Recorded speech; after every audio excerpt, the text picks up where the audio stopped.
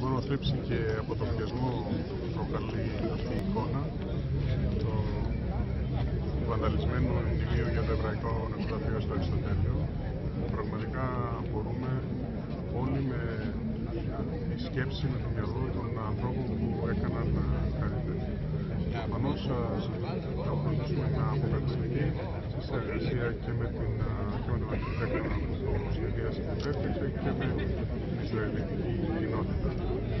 Ε, ελπίζουμε ότι δεν θα συνεχιστούν τέτοιου είδους βανταλισμοί και πραγματικά το καλύτερο, ο καλύτερος τρόπος είναι η εκπαίδευση, η μόρφωση. Πρέπει να περάσει το μήνυμα στην νέα γενιά, σε όλους τους συμπολίτες μας, ότι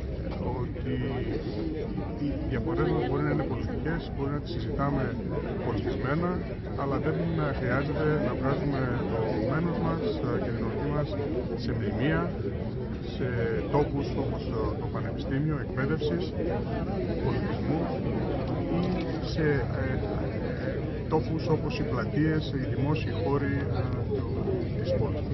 Θα υπάρχει φύλαξη στο